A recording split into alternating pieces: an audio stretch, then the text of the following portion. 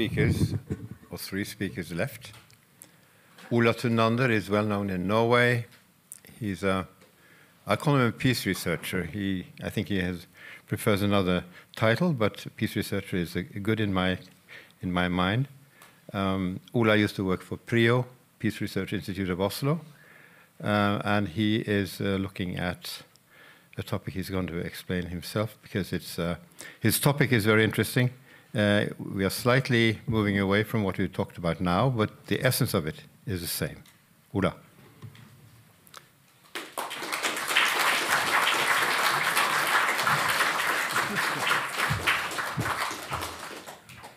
So thank you. Uh, just to connect to the former uh, presentation, I, read one piece from Chas Freeman about uh, the situation in Gaza now, and he said that uh, not even the Nazis try to. I mean, the Nazis try to hide what, their, what they did the mass killing. They, when the Red Cross was coming, they, they, they tried to make, you know, fake concentration camp or whatever they did. But at least now is the first time that everything is open. You could see the mass killing every day, and you know what happens, and it's awful. But I'm not going to speak about that. It's uh, I would connect for, to Jeffrey Sachs, what he said in the beginning, that, uh, you know, in the 70s, 80s, and 90s, journalism was something different. You had journalists that tried to find out what happened.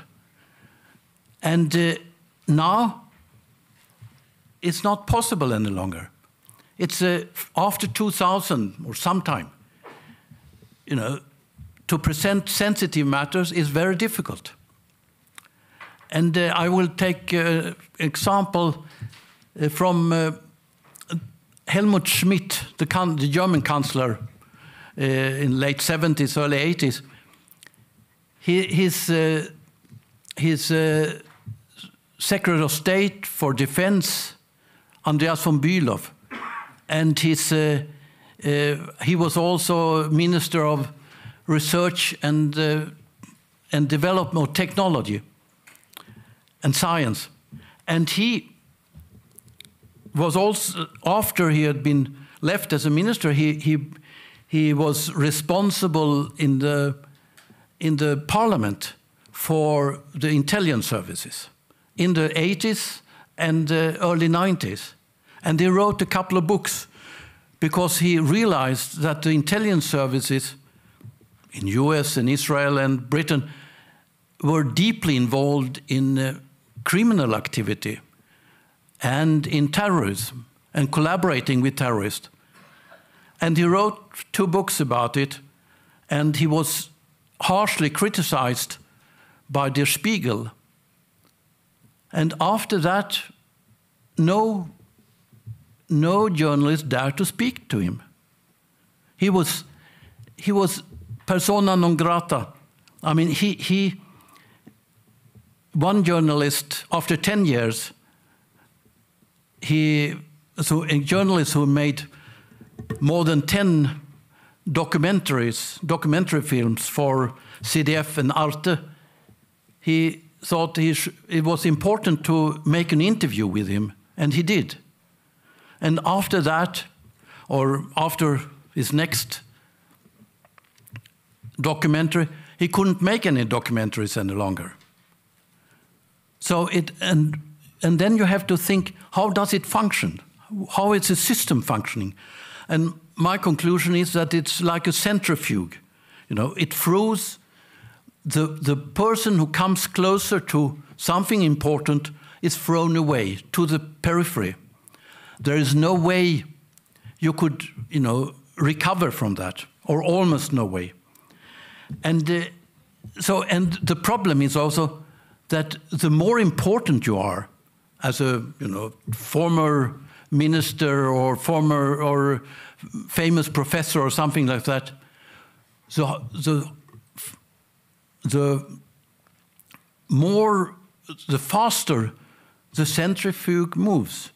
So you are thrown even further away from the center of discussion. You, you cannot do, you, you, you cannot come back any longer, really.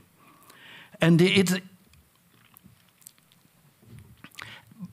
but today something happened, or you know, in recent, very recent years, during the war in Ukraine. It's no longer about you know, the most sensitive things, what is, you know, the, what the intelligence services are doing and so on, and that you're re revealing what the intelligence services are doing. The problem is that what formerly was mainstream security politics is not possible to speak about. I mean, everyone who knows, you know, something about security politics knows that Ukraine could never win against Russia. Russia has much larger industrial base, much larger population. And if Russia consider the war as an existential war, as I said, I mean, that was clear from what Vladimir Putin said the same day as a, uh, that the invasion took place. He said it was existential for Russia. And in that case, Ukraine could never win. But every journalist in the large media said that that what was going to happen. We will have victory, they said. And so it, it's kind of very strange development. And, and when you, you could wonder, why did the US do that? Why did they push for this war? And, uh, and I think that uh, Harald Kujat that was mentioned before, the, that uh, was the chairman of NATO military committee, he said that you know the point was, and uh, I mean it's not only him, but but uh, he is is more important than I am, so to speak, and and uh, he said that you had to weaken Russia before you attack China you, ha you have to, when you start the war with China, you couldn't have a strong Russia because then Russia would support China and, and that would be too dangerous. So, so, I mean, you could say it's stupid, but, but that's, that's the way people are thinking. And, and the media was thinking in terms of a, of a you know, that Vladimir Putin wanted to reconquer the Soviet bloc or the Russian Empire or something like that. And, uh, and just if you give them, if you give the Ukrainians some more weapons, they will force the, uh, the Russians back. That was the point. And uh, but now, I mean, it hasn't been possible to have another view. I mean, you wouldn't find in Dagsnytt 18 and, and Dagsrevyen, you wouldn't find, which is a Norwegian major media, uh, you wouldn't find anyone diverting from this view. And, uh, and of course, it wouldn't be difficult to find such people, they, but they have not accepted that. But now something has happened in recent weeks because you realize that the spring offensive, the Ukraine spring offensive, that became a summer offensive, that became an autumn offensive, did not reconquer any land at all. And, uh, and a couple of weeks ago, uh, the National Security Advisor in the United States, Jake Sullivan, and Avril Haines, the Director of National Intelligence, they, they had a presentation for the top people in the Congress at the White House, where they said that uh,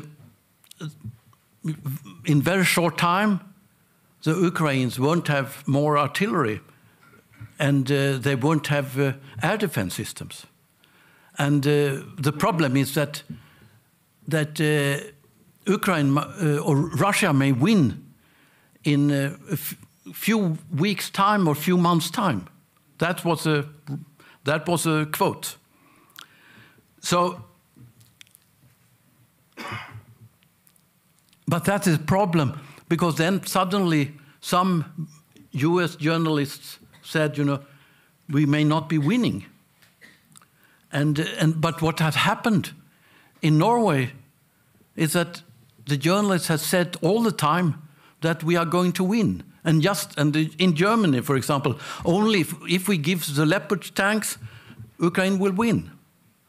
You know, and and uh, we have put in, or not we here in the in the, this meeting, but but uh, we have put, in billions of Norwegian crowns into, into Ukraine weapons, and it has only the role of killing more Ukrainian soldiers. Because it's, I mean, in hundreds of thousands now, it's very difficult to know the exact figures.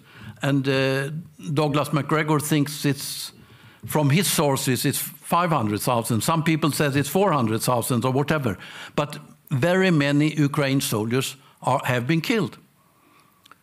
And uh, Chas Freeman, as I mentioned first, uh, as a you know former ambassador and former assistant uh, assistant to the Secretary of Defense, or no, no, assistant Secretary of Defense, to be more precise. He he said that uh, we are fighting to the last Ukrainian, and that he said month, one month after the war started. Everyone should have known at that time that this war will just kill Ukrainian soldiers and possibly all of them because Russia is a bigger country. And then if you try to look at what happened really, how could, how could you succeed to get the media to think in these terms? And, uh, and then you see that uh, what happened was that they spoke about a, full scale invasion, Putin's full scale invasion. That was said by Dmitry Kuleba in the early morning, the 24th of February, exactly two years ago. And, he, and every journalist quoted him. And you know, if you listen to the news in Norway and probably uh, uh, in other countries, they, when they start to speak about Ukraine, they start with the full scale invasion of Ukraine. You couldn't start the, to, you couldn't mention the Ukraine or the war in Ukraine without saying the full scale invasion. And the same is uh, about the unprovoked attack. Where does it come from? Early in the morning, the 24th of February, Boris Johnson said, spoke about un, Putin's unprovoked attack on Ukraine. And then later on in the day, President Biden said, uh, spoke about Russia's unprovoked attack on Ukraine. So it's, and uh, you know, you could say it's clear that you know, if you will success, if you will succeed, you have to create a truth from the very early hours. I mean, so-called truth. I mean, a, a, hegemonic discourse, you could say. You, you have to create it from the very early hours of the event, of the war. And that was what was done. And it was done, you, know, you could say, uh, Kuleba was the day before or, or or one day and a half before he was at the White House. So he's, he, he met uh, President Biden, he met Secret Secretary Austin, and, per, and perhaps Blinken also, I don't know. But, but this means they have briefed him about, you know, more or less what to say. And, and, uh,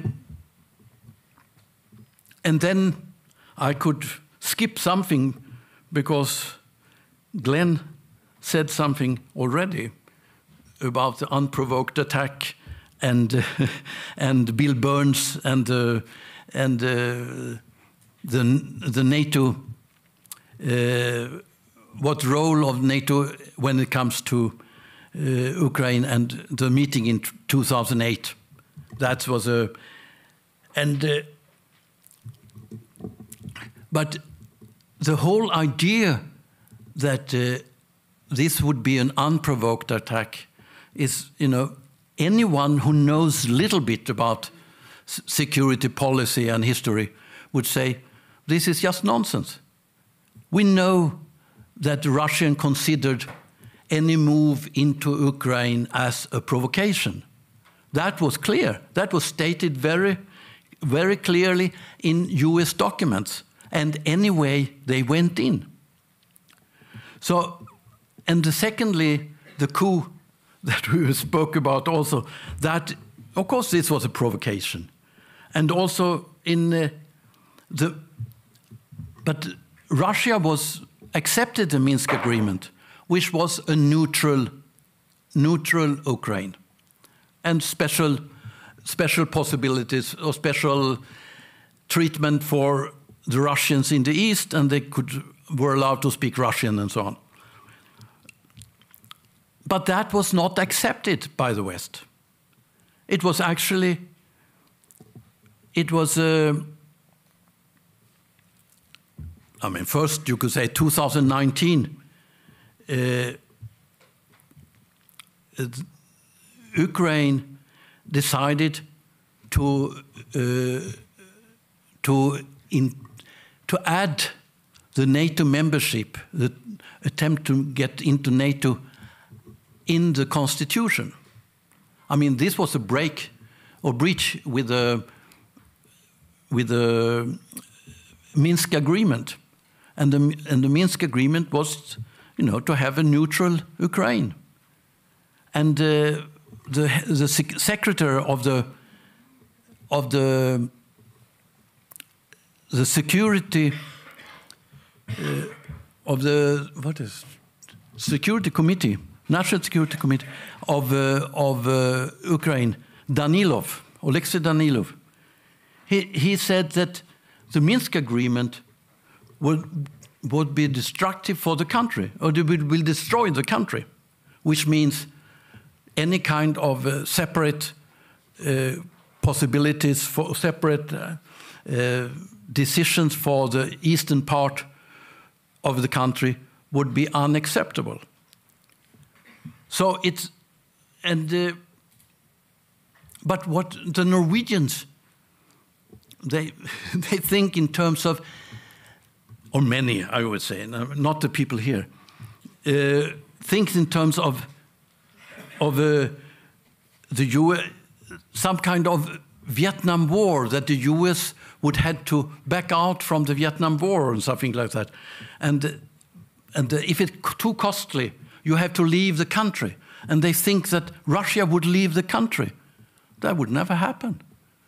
It's they, they, because Russia consider the war as existential. So it's, it's a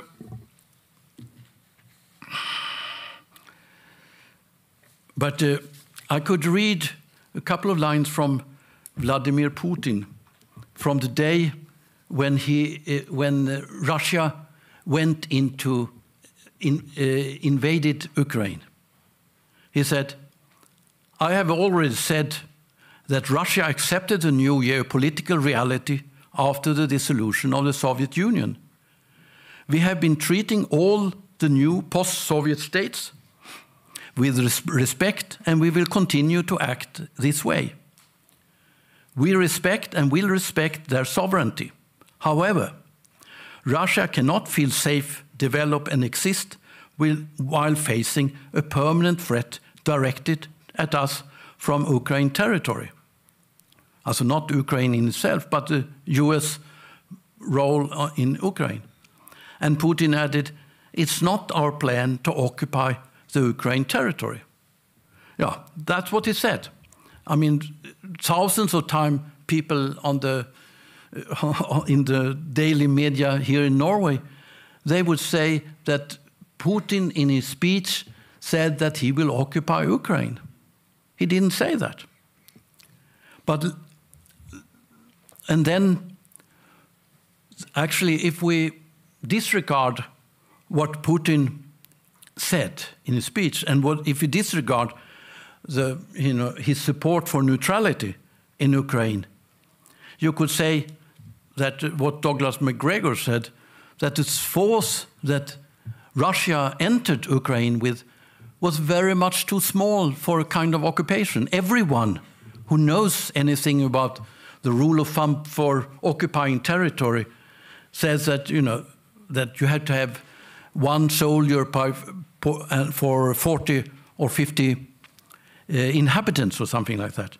You should have, but actually, when Russia went into, or Soviet Union went into Czechoslovakia, they they had a 10 times larger force and than Russia when it went, compared to inhabitants, when they compared to when, when they went into Ukraine. So you could say any military expert would say Russia went in with a relatively limited force of army force and very little navy and air force.